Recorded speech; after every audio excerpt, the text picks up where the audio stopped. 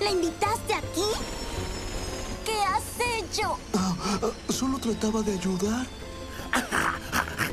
¿Qué es esa cosa? No quieres saberlo. Sleepy,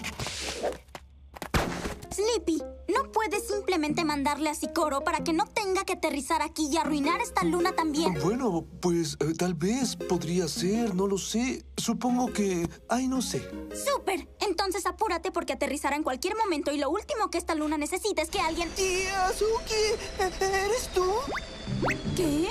¿La conoce? ¡Ha regresado! Después de todo este tiempo. ¡Preparen la bienvenida real!